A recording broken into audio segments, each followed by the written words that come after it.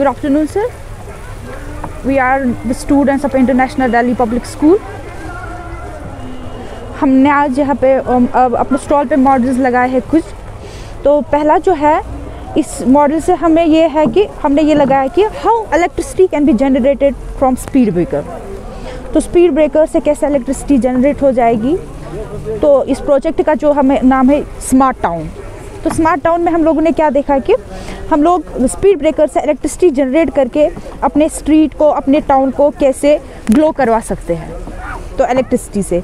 तो इसमें क्या होता है सर इसमें जो पोटेंशियल एनर्जी होती है व्हीकल्स की तो वो कन्वर्ट होती है इलेक्ट्रिक एनर्जी में।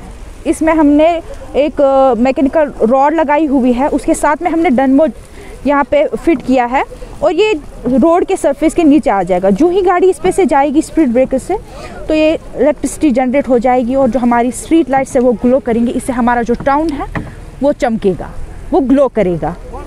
तो ये हमारा एक मॉडल है। That's how electricity can be generated from speed breakers and the next one is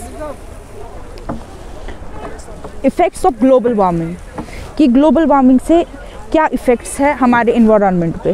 जैसा आप देख सकते हैं टेम्परेचर रेज होने की वजह से ग्लेशियर्स मेल्ट हो जाते हैं और हम यहाँ से देखेंगे कि कैसे फ्लड्स भी आ सकते हैं और यहाँ प्लांट्स ड्राई हो रहे हैं। तो टू ओवरकम दिस प्रॉब्लम तो इससे हम लोग हम लोग क्या कर सकते हैं इस प्रॉब्लम को रोकने के लिए ये ग्लोबल वार्मिंग तो ज़्यादातर ग्लोबल वार्मिंग हमें पता है कि पोल्यूशन की वजह से हो जाती है।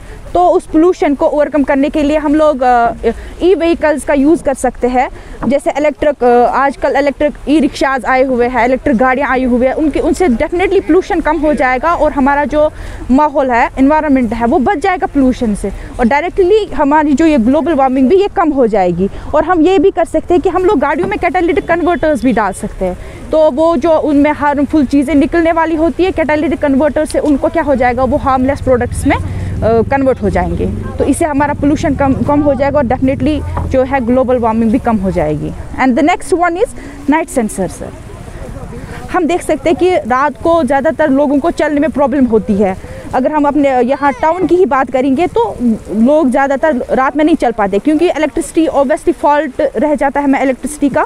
तो हमने जो ये नाइट सेंसर बनाया, इसमें क्या है कि हमने नाइट सेंसर्स लगाए हुए। ये डार्कनेस को सेंस करके पूरी जो है, इनमें लाइट्स आ जाएँगी। ये जब अंधेरा हो जाएगा, ये सेंस करके डार्कनेस को, ये सेंसर्स तो पूरी जो स्ट्रीट लाइट्स है, वो ग्लो करेंगे। हमारा टाउन जो है, वो ग्लो करेगा। नाइट में भी, क्योंकि रात को ज़्यादा, और बिजली तो वैसे ही कम रहती है।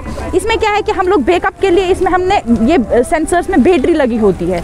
और ये बैटरीज हमें अगर चार्ज भी करनी होती है चार फुल चार्ज रहने के लिए, हम लोग इसमें क्या करेंगे? इसमें हम लोग सोलर पैनल भी डाल सकते हैं और ये बैटरी चार्ज रह सकती है। और नेक्स्ट जो यूँ ही अंधेरा हो जाएगा, ये सेंसर्स नाइट सेंसर्स डार्कनेस को सेंस करके पूरे टाउन को रोशनी दे सकते हैं। तो ये हमारे सारे मॉडल्स थे। इंटरनेशनल दिल्ली पब्लिक स्कूल ने ये सारे मॉडल्स तैयार किए हैं।